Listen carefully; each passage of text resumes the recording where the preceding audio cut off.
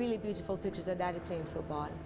Um, and then just all of the records, you know, his accolades.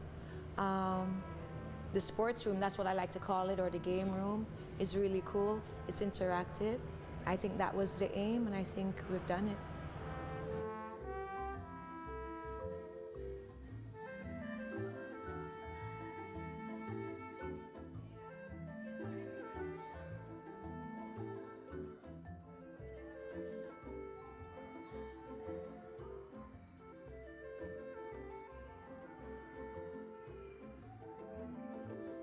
I'm 18 years old and I'm still learning like every day, you know, as I grow. Um, I feel like every year I just learn something new about him, which I didn't know, which is crazy, like, you know.